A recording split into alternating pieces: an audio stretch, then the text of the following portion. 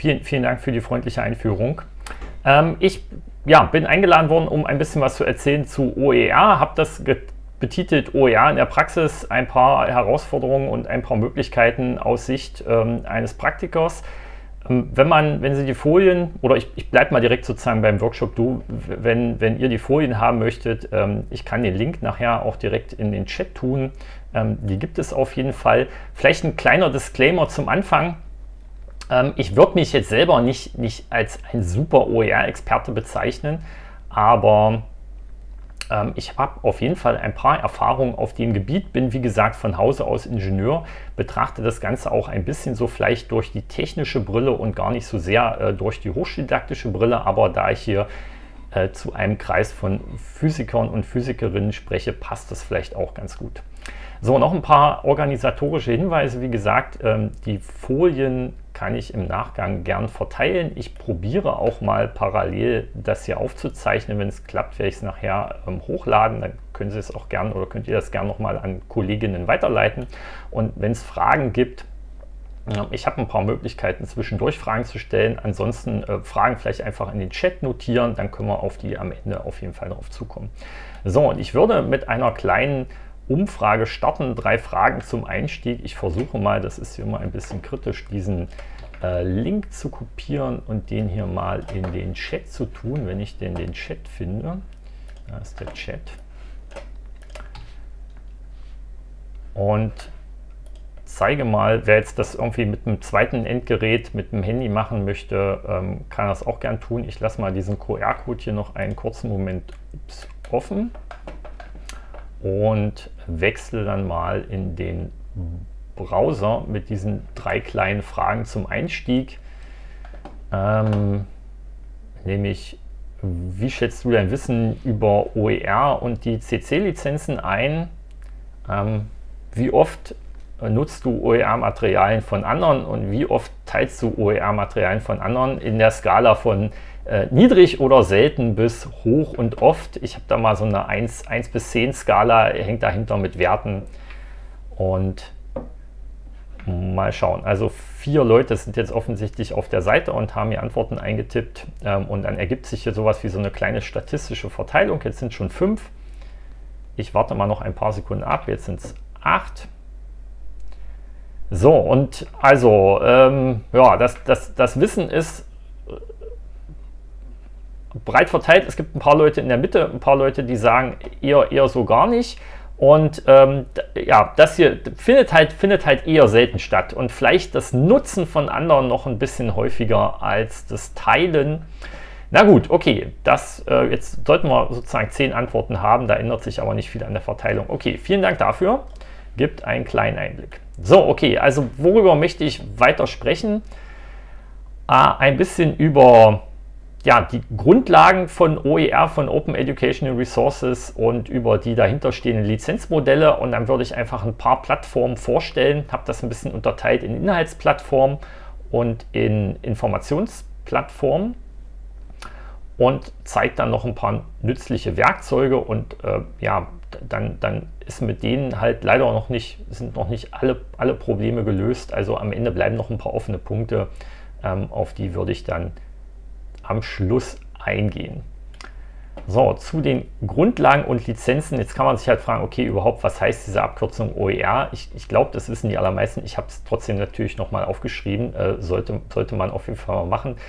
Ähm, Abkürzungen in einem Vortragstitel sind ja generell keine, keine gute Idee. Also es geht um Open Educational Resources, auf Deutsch übersetzt könnte man sagen, offene Bildungsmaterialien oder vielleicht freie Bildungsmaterialien. Äh, die man eben mit einer entsprechend freien Lizenz nutzen kann, teilen kann, ähm, von anderen verwenden kann.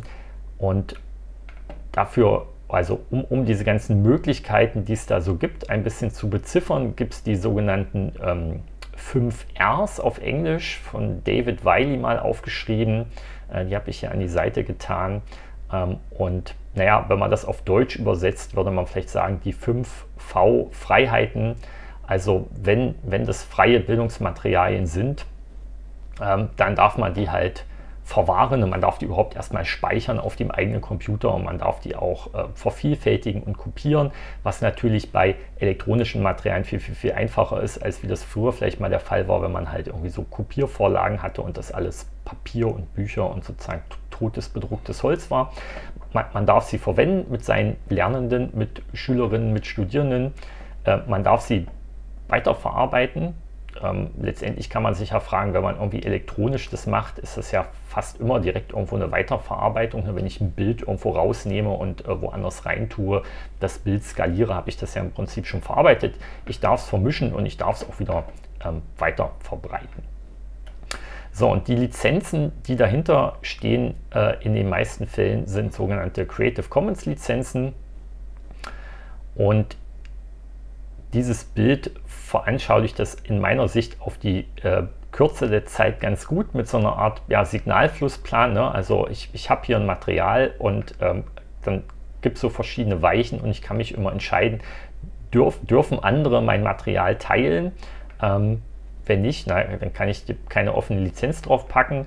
Wenn ich sage, ja, okay, das darf geteilt werden, aber es darf nicht bearbeitet werden, dann gibt es eben diese ND-Lizenzen. ND steht für Non-Derivative und dann gibt es immer noch die beiden Varianten. NC steht für, steht für Non-Commercial, wobei man ähm, ja gerade diesen Punkt, was ist kommerziell, was ist nicht kommerziell, schon auch sehr ähm, diskutieren muss. Ne? Also wenn eine Uni ein Weiterbildungsangebot zum Beispiel für Externe anbietet, dafür ähm, Teilnahmegebühr verlangt, ist das dann schon ein kommerzielles Angebot, ja oder nein?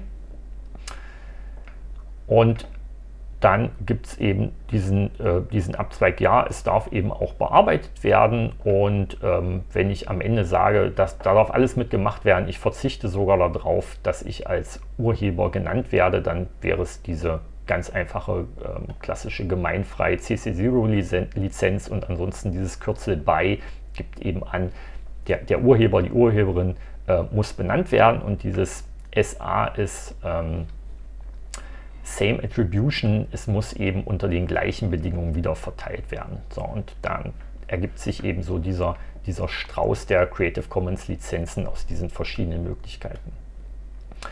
So, und damit würde ich gern einfach, um das auch ein bisschen interaktiver zu gestalten, eine zweite kleine Umfrage machen. Äh, suche mal wieder das Chatfenster und packe den Link da rein und warte mal wieder ein paar Sekunden ab, ähm, so dass möglicherweise ein paar Personen das auch noch mal mit dem Mobiltelefon scannen könnten. Und wechsle dann mal auf die entsprechende Seite ziehe mal das Browserfenster wieder hier runter. Was sind aus deiner oder aus ihrer Sicht dann ähm, Vorteile von OER oder vielleicht auch, wenn man sie jetzt noch nicht so häufig genutzt hat, was könnten Vorteile von OER sein?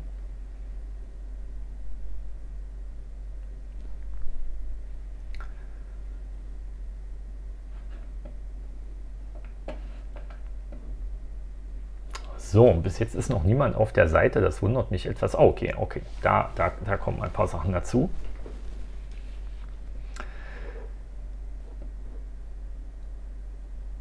Oh, und da steht jetzt sowas wie didaktisch erprobtes Material. Genau, das ist natürlich so eine Idee, wenn man von anderen Personen was nutzt, die das vielleicht schon mit äh, ziemlich viel Erfahrung eine ganze Weile nutzen, dann ähm, und, und, und vielleicht was halt dazu kommt, okay, wenn, wenn Personen sich trauen, das halt auch irgendwie so ins Internet zu stellen, dass andere es nutzen können, dann kann das ja vielleicht gar nicht so falsch sein, dann ist das bestimmt erprobt.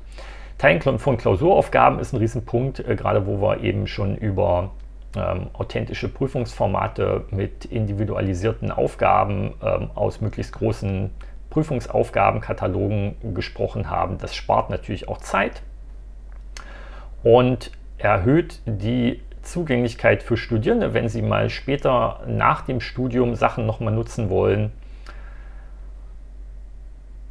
Und diese Zeitersparnis lesen wir auch nochmal mit höherer Effizienz und äh, schnellerem Arbeiten. Warum muss man das Rad ähm, jedes Mal neu erfinden? Warum kann man nicht einfach das Rad, was sich schon ganz gut dreht, von jemandem vorher nutzen? Okay, sehr gut. Vielen Dank dafür. So, dann scrolle ich mal einfach äh, relativ schnell durch ein paar OER-Plattformen. Die erste, die ich ja mal gewählt habe, ist die, die nachher vermutlich auch noch ein bisschen intensiver vorgestellt wird. Ähm, Orca NRW, das Landesportal für Studium und Lehre, versteht sich aus meiner Sicht so ein bisschen wie so ein One-Stop-Shop ähm, für alles, was digitales Studium und digitales Lernen und digitale Lehre betrifft, ähm, an den Hochschulen, an den Universitäten im, im Bundesland NRW ähm, und versteht sich aus meiner Sicht auch so ein bisschen eben als natürlich dann OER-Plattform.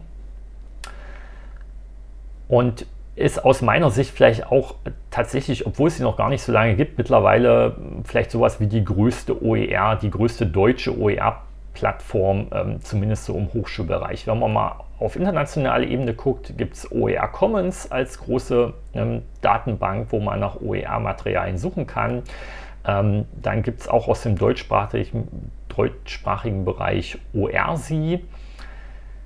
Einfach auch wie eine Suchmaschine kann man nach seinem Fachbereich suchen und mal reinschauen, was es da so gibt. Ähm, ziemlich etabliert, schon bestimmt 25 Jahre alt fast, ist die ZUM, die Zentrale für Unterrichtsmedien im Internet.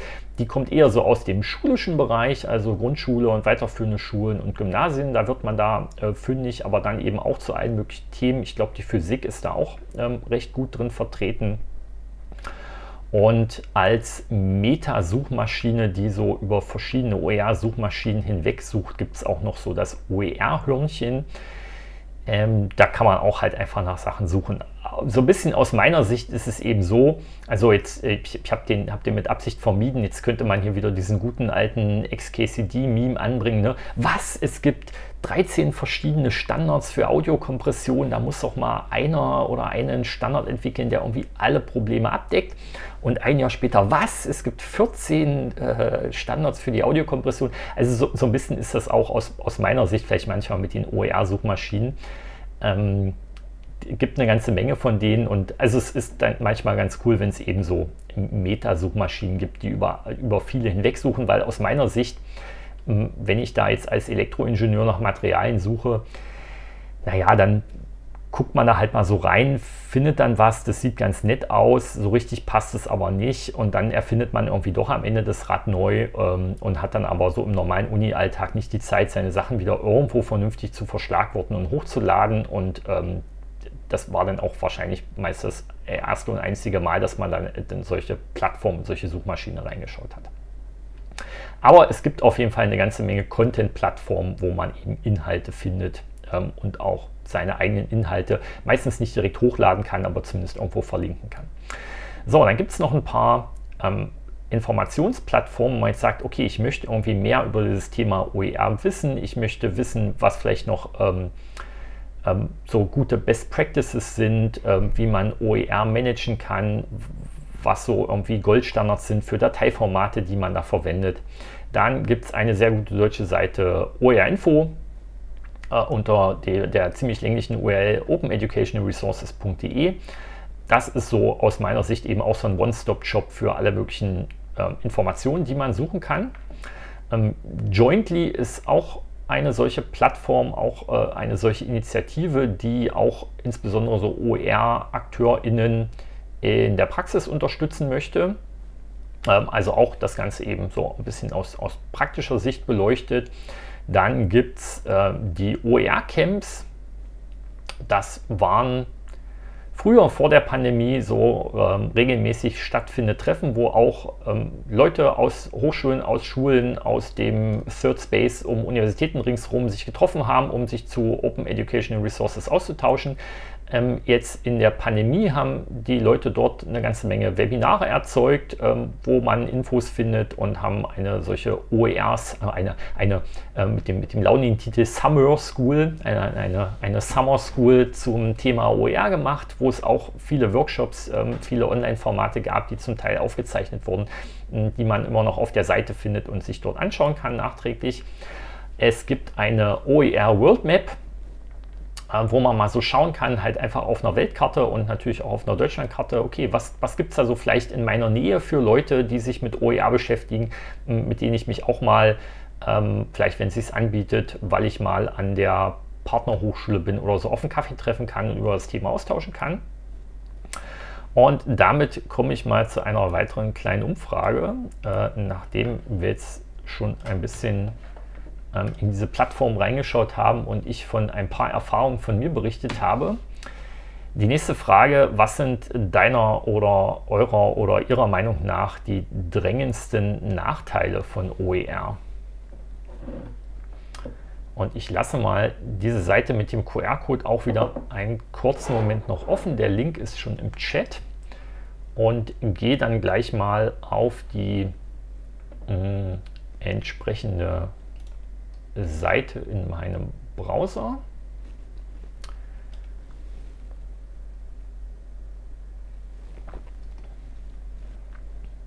Und gucke mal, bis jetzt ist da, jetzt passiert was, deswegen ziehe ich die Seite mal nach unten. Und äh, wir sehen sowas wie unübersehbare Vielfalt. Ähm, ja, definitiv.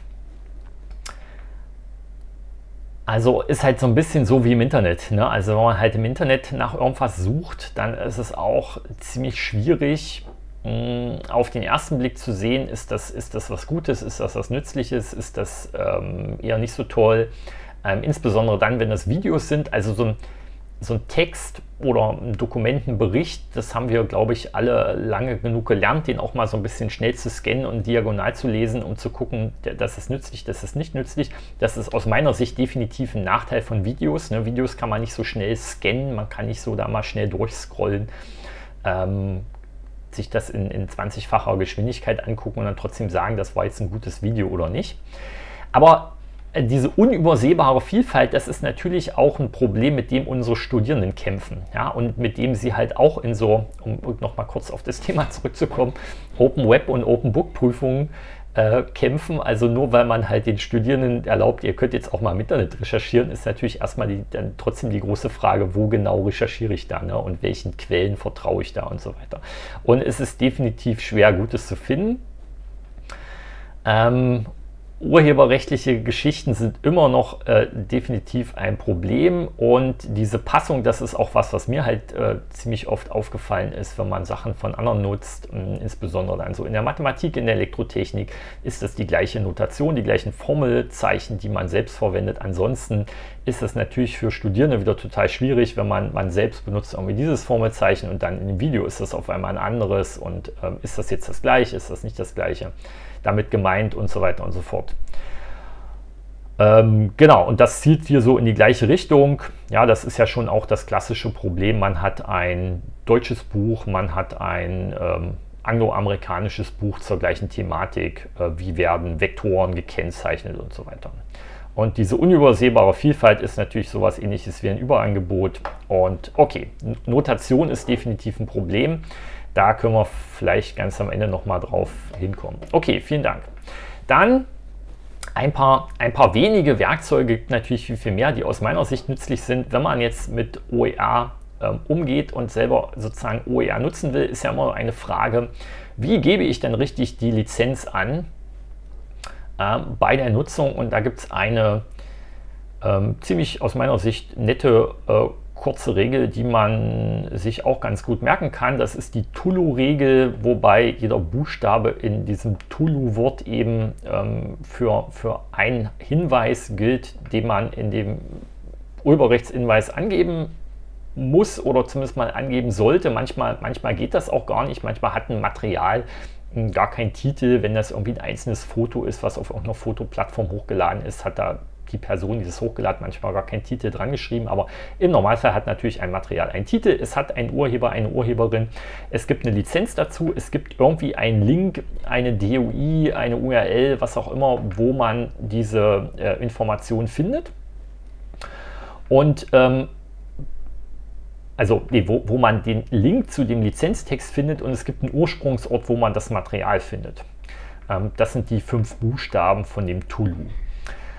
Und also bei den Lizenzen kann man sich jetzt drüber streiten. Ich habe jetzt hier, wenn ich mal auf meine Folie unten gehe, ne, also diese Infografik habe ich mir natürlich auch nicht selbst ausgedacht. Hier unten ist dieser Lizenzhinweis angegeben. Äh, da ist auch so, dass diese Lizenz also ist diese Grafik, äh, ja, also vielleicht ist das der Titel, aber so einen richtigen Titel hat die nicht, deswegen habe ich hier nur Infografik hingeschrieben und die ist eben zur Verfügung gestellt unter CC BY 4.0 und wenn ich jetzt hier draufklicken würde, hier würde sich jetzt tatsächlich der Link hinter verbergen. Muss man auch mal so ein bisschen gucken, ob man halt elektronische Sachen hat, dann kann ich natürlich einfach einen Link verlinken, wenn ich das jetzt drucke.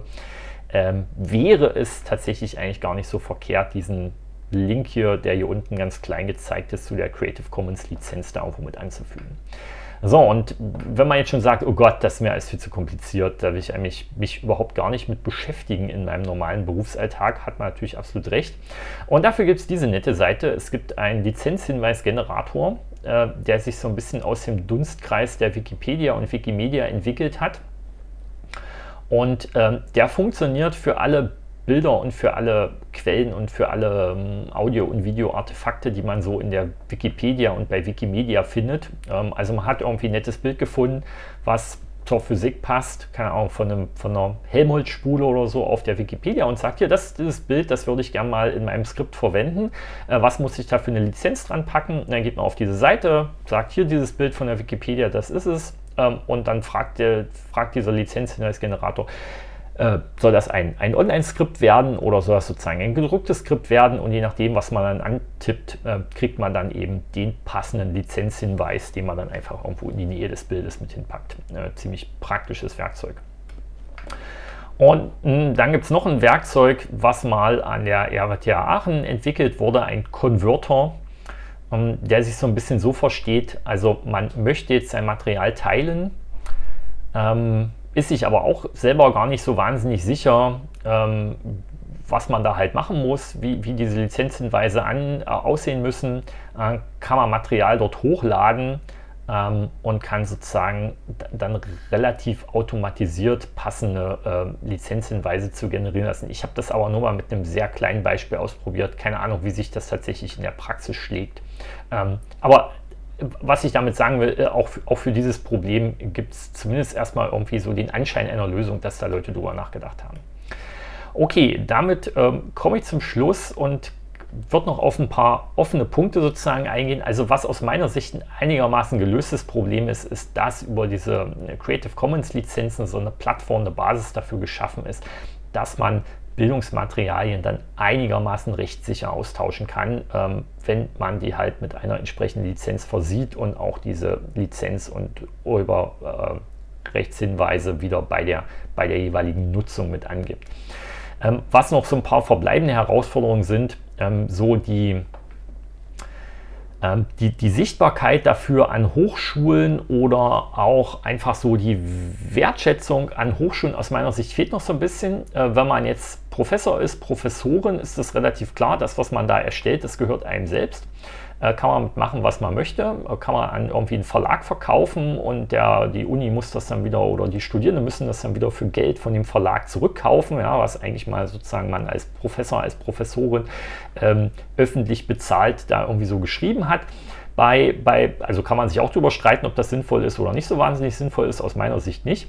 Ähm, wenn man das jetzt aber als wissenschaftlicher Mitarbeiter macht, so wie ich, ist das total unklar, äh, wem dieses Material gehört, das eben wissenschaftliche Mitarbeitende, äh, ja, Personen für besondere Aufgaben und so erstellen. Gehört das Ihnen selbst? Gehört das der Uni? Äh, wer, darauf wer darf darüber entscheiden, was man damit macht? Ähm, hilft total, wenn eine Hochschule, wenn eine Uni dann so eine OER-Policy hat, wo halt drin steht, ja, also auch das, was ähm, studentische Hilfskräfte erstellen oder das, was ähm, eben wissenschaftliche Mitarbeiter erstellen, wenn sie das möchten, darf unter einer freien Lizenz wieder geteilt werden.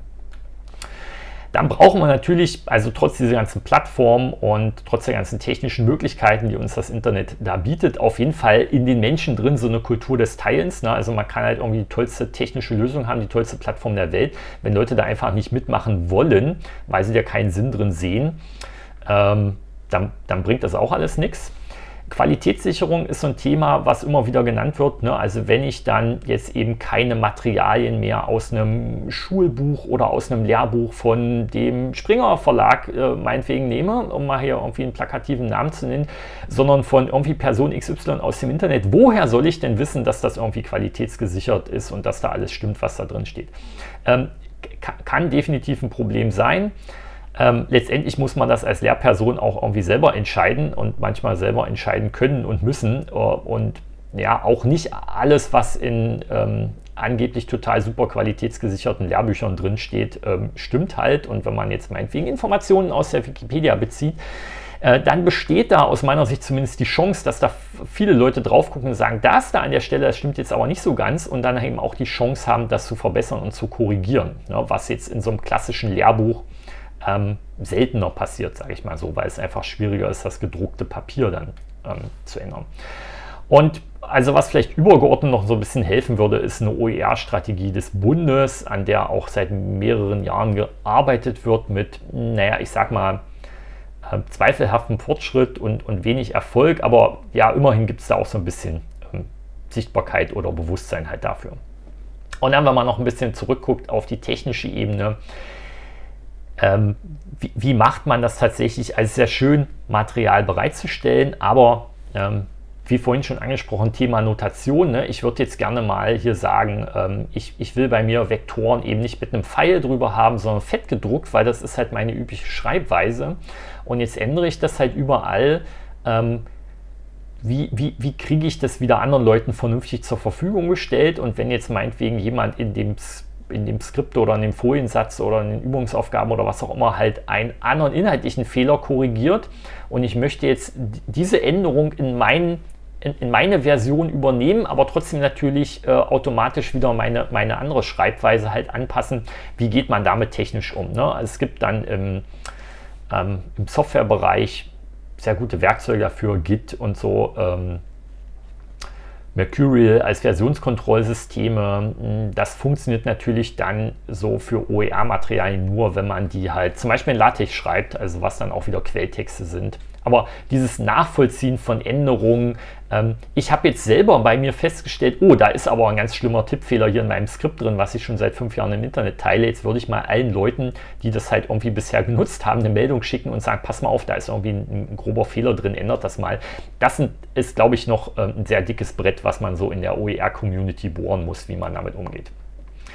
So, vielleicht kriegen wir äh, dann nichtsdestotrotz damit mal dieses Ding mit der Zahnbürste. Ja, wir, wir, wir kennen alle diesen schönen Spruch, man würde mit, seinem, mit, mit seiner Nachbar-Lehrstuhl, Lehrperson eher die Zahnbürste teilen als die eigenen Lehrmaterialien. Vielleicht kriegen wir dieses Problem damit dann äh, schlussendlich doch mal irgendwann gelöst.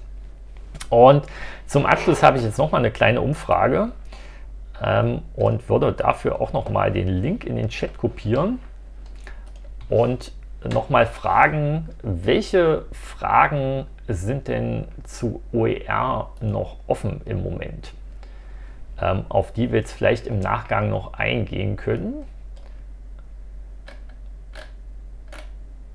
Ähm, ich schaue auch gerade schon mal parallel in den Chat, da ist bisher ähm, keine Frage aufgeploppt, aber vielleicht, vielleicht passiert jetzt noch was. Ich warte mal einfach noch ein paar Sekunden ab. Und nehme mal noch einen Schluck vom mittlerweile leider schon kalten Kaffee.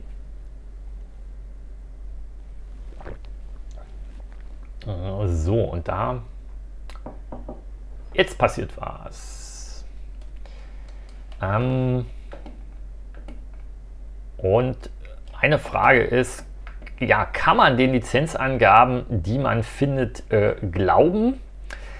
Ja, total gute Frage. Also ein ein, ein Problem, was natürlich ähm, sein kann, ist, dass jemand ein eigentlich urheberrechtlich geschütztes Foto nimmt, äh, das zum Beispiel auf eine freie Fotoplattform wie Pixabay hochlädt ähm, und dort entsprechend mit irgendwie einer freien Lizenz versieht und diese Fotoplattform beim Hochladen das auch nicht weiter prüft, ob dieses Foto eigentlich irgendwie andersweitig urheberrechtlich geschützt ist und man lädt es herunter in dem Glauben, es hat eine freie Lizenz und dann kommt irgendwie trotzdem äh, zwei Monate später irgendein Abmahnanwalt um die Ecke und verklagt einen, weil man ja das dann ursprünglich doch urheberrechtlich geschützte Foto benutzt hat.